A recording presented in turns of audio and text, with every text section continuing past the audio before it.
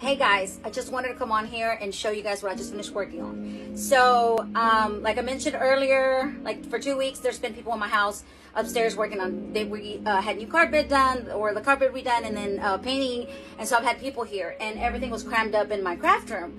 And so that's why I haven't done any videos like with me and them because it's just, look, you can see the clutter back there where it's just, everything was going crazy. But I started making this hat and I had to stop and I did a real quick video of what I had done so far and then I did a time lapse on it. I just have to show you how beautiful this this looks. These are the pumpkins from at home. And so um, the two witch hats that I posted yesterday, those were the same customer that's purchasing this. So she can actually take this hat off put one of her whichever one hat she wants the hot pink or the black one put it on here take it off once november 1st comes around and puts this on there.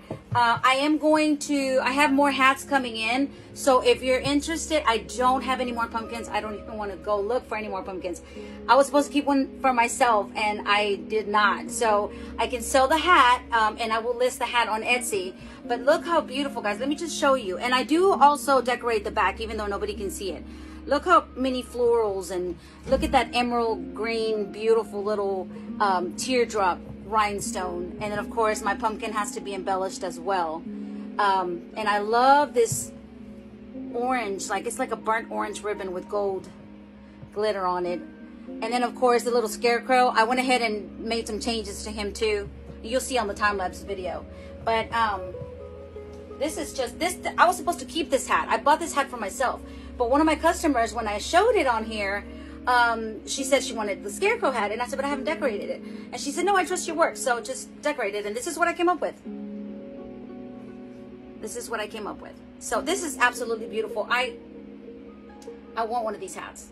I don't know. I think I'm going to be a scarecrow for Halloween. I'm just going to wear one of these hats because it's so pretty. I really, really do love it, guys. So anyway, stay tuned because the next video that I upload is going to be the um, the DIY. So I hope you guys like it. And I, like I said, I may just upload a few of these hats to Etsy. If not, there's always next year. Um, yeah, there's always next year, guys. So I'll see you guys in a bit. Bye.